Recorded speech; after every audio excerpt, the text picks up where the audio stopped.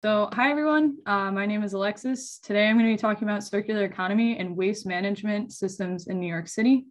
Uh, circular economy and waste management systems are very important and directly linked to architecture and construction fields. I have a background in architecture for my undergraduate, so it's something I hold near and dear to my heart.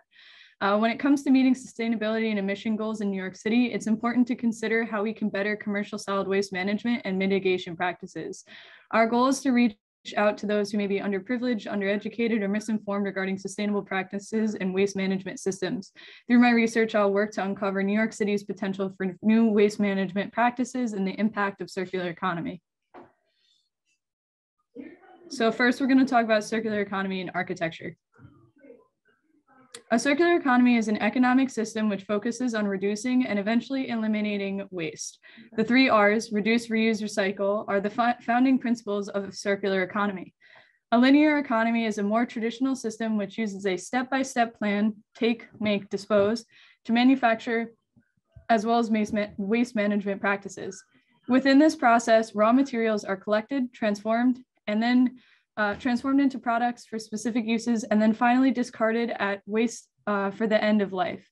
Value is created in this system by producing and selling as many products are possible. On the other hand, uh, circular economy advocates for reducing the use of raw materials, reusing materials to make new products, and recycling existing products.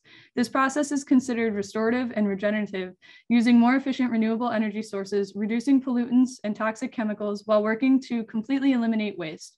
Business models that seek to utilize a circular economy use materials more efficiently and maintain maximum product value at all times. Countries are now working towards uh, utilizing more sustainable and efficient circular models uh, as opposed to the current linear models. And I strongly believe that New York City should do so as well. With the continued use of linear economy, a global material crisis is imminent. Recycling will no longer be a choice, but a necessity as the amount of raw materials continues to decline. There may be a paradigm shift in domestic behavior, manufacturing, construction, and design. And honestly, with COVID 19, the pandemic, we've kind of seen this start to happen. Rethinking initiative, uh, initial manufacturing design techniques with the architecture of waste, uh, which is a resource that I used uh, for my research, uh, provides a hopeful outlook for the future. In the last 30 years, our global material extraction has more than doubled and it's estimated to continue from 71.6 billion metric tons of raw materials entering the system in 2010 and about 90.4 billion tons in 2020. The cost of real resource prices, which is fossil fuels in particular, has supported the continued economic growth since the 1850s. It was cheaper and easier to obtain and afterwards dispose of primary materials than reusing or recycling. The most economically efficient gains are from the substitution of labor for additional resources, which is, uh, is not the most sustainable choice, to be honest. Uh, in the early 2000s, there was an economic shift, uh, which you guys can see kind of on these graphs on the page as I'm talking through this, um, which essentially replicates the resource prices um, seen in both figures 5.2 and 5.3. As noted in the 2016 World Economic Forum, quote, the turn of the millennium marked the point where real prices of natural resources began to climb upwards, essentially erasing a country's worth of real price declines, end quote. At the same time, the turn of the century was being classified as the higher price volatility than any single decade of the 20th century. The Ellen MacArthur Foundation, another resource which I had used and looked into, uh, is a leader of conceptual and political development of a circular economy, and they believe that moving from a linear to circular economy will provide material savings high, valued higher than $1 trillion. Both ecological and economic considerations are taken into account for this calculation. There are also several issues outside of the global waste crisis that are in, uh, inescapable, such as cultural physiques, political, economic, manufacturing, marketing, and material sciences. The architecture of waste is an important resource for us to reimagine the role of an architect in the addressing the urgent material crisis with the design process. Now I'm going to specifically speak on waste management in New York City. So there's two different uh, graphics as I kind of go through these notes here. Um, the one on the left is more of like a breakdown of waste uh, in New York City, and the one on the right is kind of showing you visually like how um, waste management export facilities and waste sheds um, are kind of divvied through the um, Manhattan and uh, borough areas. So, and they are export facilities, and that's really big into what my project kind of speaks more about. So one third of New York City's residential garbage is recyclables. One third of it is organic waste. A quarter of it is labeled as other, and about 10% of it, um, which is also the fastest growing waste composition, is electronics. Uh, commercial waste management is equally as significant as residential waste management. Commercial waste management accounts for roughly 75% of New York City's total waste stream.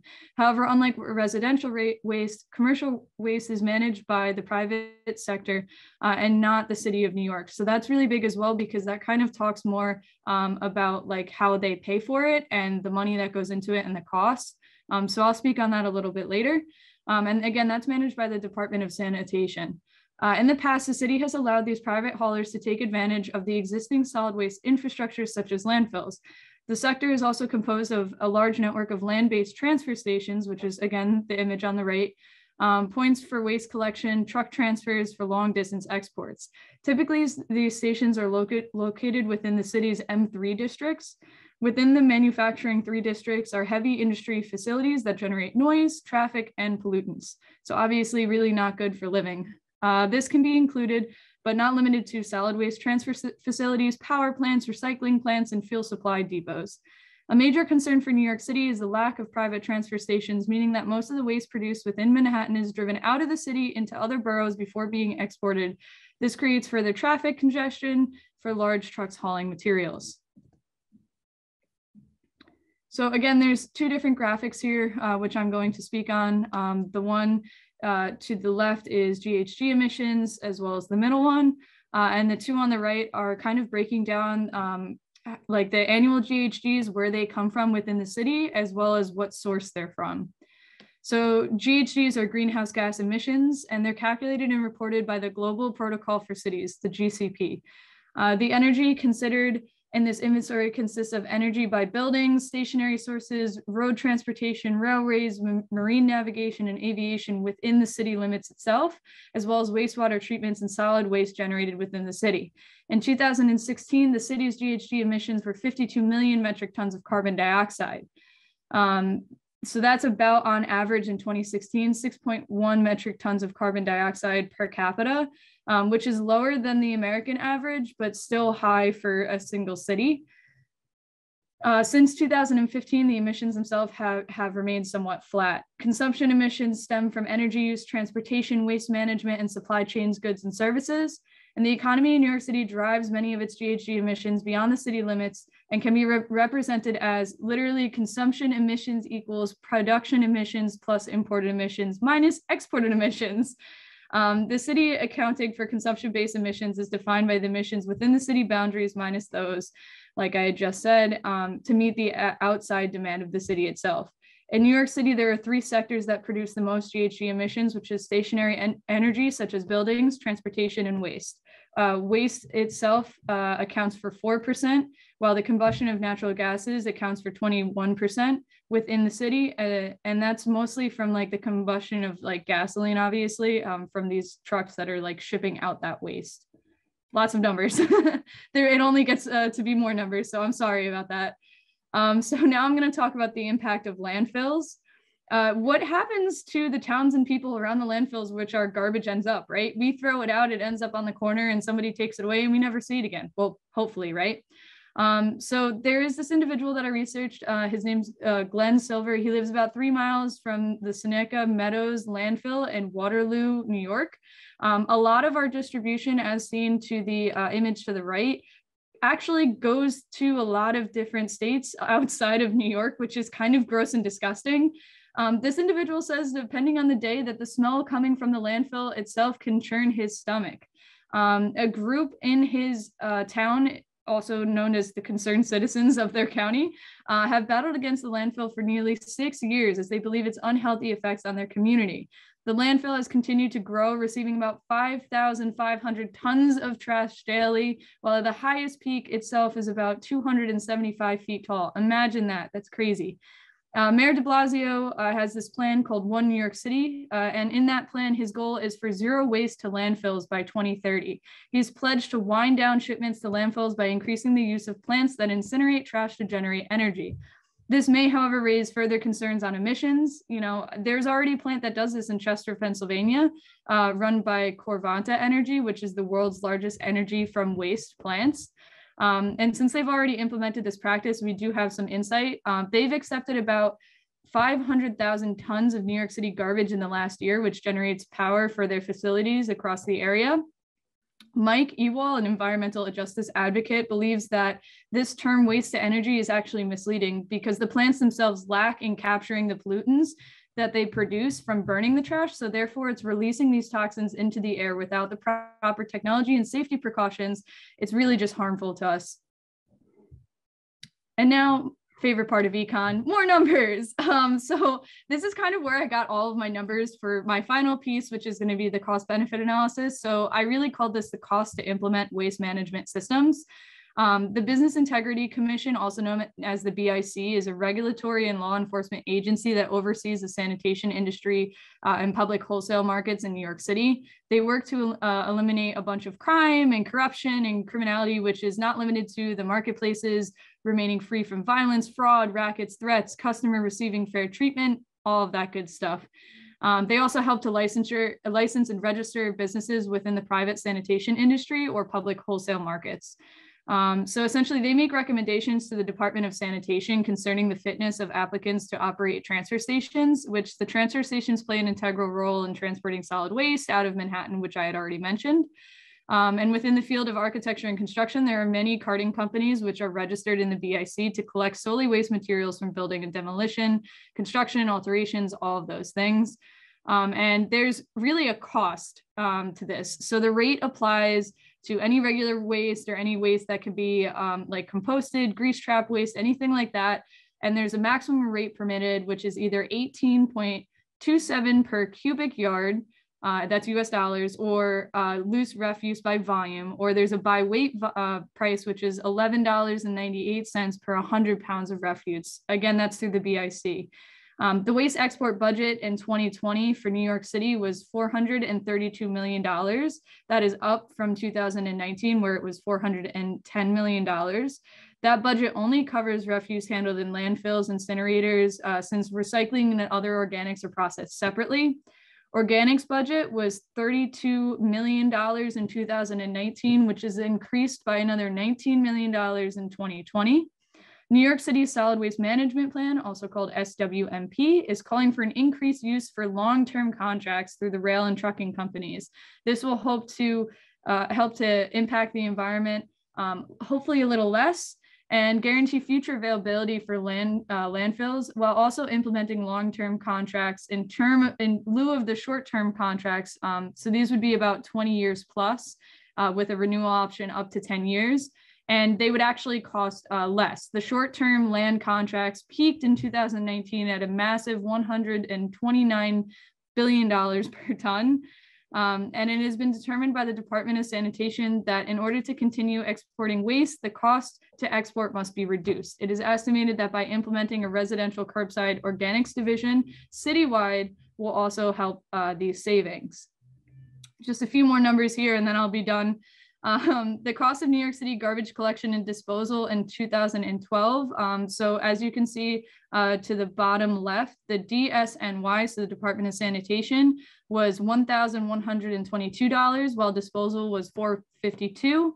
Uh, private collection was 526, while disposal was 205. So again, um, going through the Department of Sanitation, which is the public sector, is a little bit more expensive than going through the private sectors.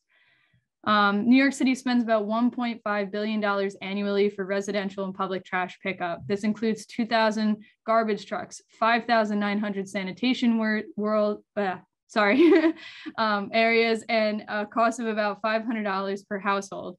So essentially, all of this is saying it is very expensive to throw your garbage out in New York City. Um, transportation of waste produces over 1 million tons of GHG emissions annually, which I did go into the cost of that as well.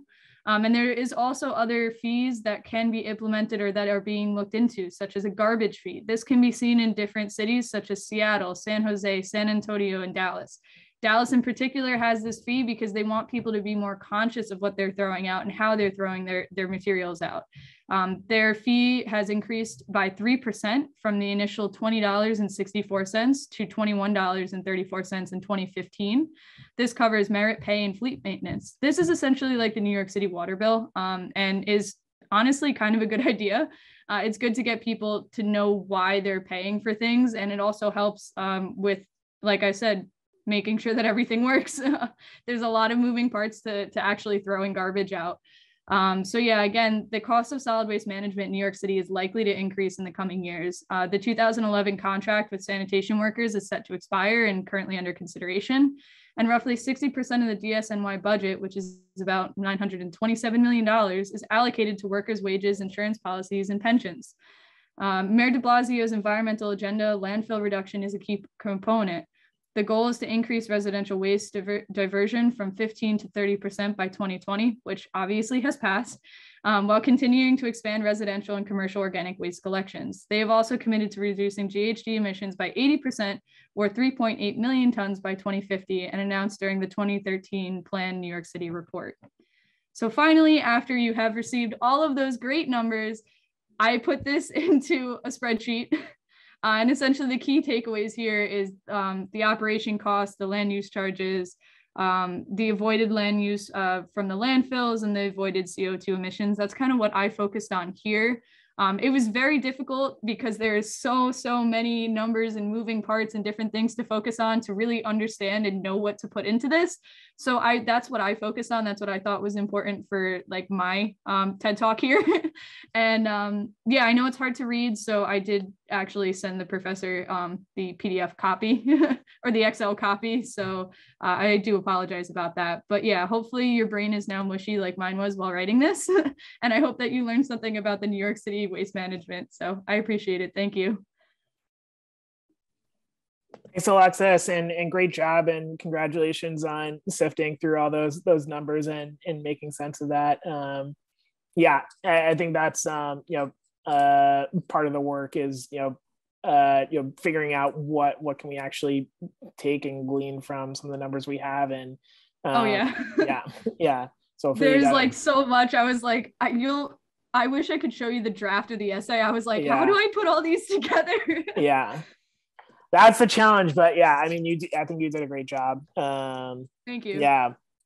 So what, I mean, based on your, your cost benefit analysis, uh, you know, what would your recommendations be? It's interesting that um, you had that one chart up that showed, uh, I think it was from organics and like it seems like for uh, most of the the composting or anaerobic, anaerobic digestion uh, technologies, it's like it's actually uh, benefit cost positive until you get to curbside collection. And you know, curious, um, you know, what some of your your takeaways are around that. Yeah, I mean, like I thought the whole organics thing was pretty interesting because I think it like is being treated separately than like all of the other like streamlined waste, which I think is necessary. Um, and in the actual essay, I, I, did talk a little bit more about like the organics portion of it. Um, and I actually put that in the cost benefit because there was a um, recent addition um, to the organics program. So they put $32 million up front um, for this program. And essentially what that is, is to expand the policies, I guess. And then they added another $19 million to expand the only facility that's currently, I believe, in Staten Island. Um, and I actually used that to, like, I know it's far fetched, but when I was doing the cost benefit, I used it to estimate the implement implementation of a circular economy like intervention. So essentially like the upfront cost of the facility, materials, and any other things like for the policy making aspect of it. Um, I think that's like completely necessary. What really was compelling to me, like I think aside from the money aspect of it, was how many CO2 emissions there are. Because um, the way that I did it in the cross benefit was the avoided CO2 emissions was five fifty-seven thousand three hundred and twenty US tons per year. I believe that's correct. Yeah, no, 57.32. Sorry, that's not a comma. Uh, US tons per year. And that equated to, if you do the $600 assumption for the cost of carbon, it equates to like a lot of money. Yeah. like 34,000 ton uh, dollars per ton of carbon avoided, which is like wild. Cause so like you not only have like the literal like, okay, we're moving this waste and, and removing that. Now we like have a cost to like the environment almost. Like you're putting like a dollar sign on like benefiting the, the environment. Um, and really our pockets because if New York City decides to put on a garbage tax, tax whether it's or fee, whether it's for regular streamlined waste or for organics, like that still comes out of like your money, like if right. you live in the city. So I, it was a very interesting project. I really enjoyed it. Um, it was difficult. I'll be 100% honest. It was very yeah. difficult, but I'm very happy that I pushed through it. And I hope that you guys enjoyed it because, like, I don't know, garbage is something that we all have and we all have like a common, you know, point on that. So I hope that we can like all learn a little bit and be a little bit more conscious of like, you know, how we're throwing things out and stuff. Yeah, for sure. And I, I believe um, uh, Sarah's uh, presentation later, I, I, know that she was also looking particularly into, you know, some of those um, issues around, you know, uh, curbside collection or bringing to, you know, a central facility and, and what that yeah. looks like. And, you know, I think that's an important part of the equation as well. So I'm interested to see a little bit more about curbside, like people to facility because I was focusing on facility to landfill. I was thinking right. like more of like the bigger things. So I'm interested to see like how our costs now, like our individual costs, like kind of pertain on our everyday. So right. definitely. Thank yeah. you. yeah. Well, I think that'll be a good lead in.